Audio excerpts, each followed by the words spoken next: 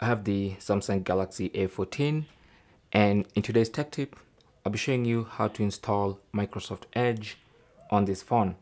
So if you prefer to use Microsoft Edge, maybe you've been using it on your computer and you want all your bookmarks, all your browsing history, all your passwords on your mobile phone, then you can go ahead and install um, Microsoft Edge on your Galaxy A14 and also sign in with your Microsoft account.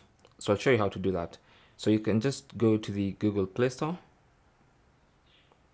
Just launch the Play Store and then go to the search function and type Microsoft Edge.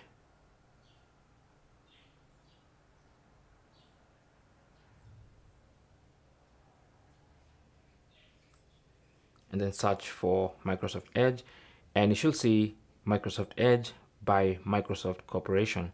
So make sure you check to install the correct app tap on install and that should start downloading and installing the browser onto your phone.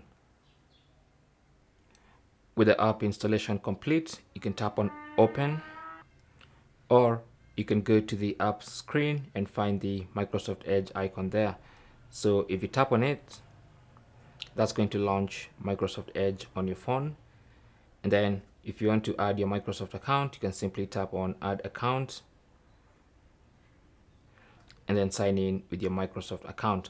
But that's basically how to install Microsoft Edge on your Samsung Galaxy A14. Thanks for watching and good luck.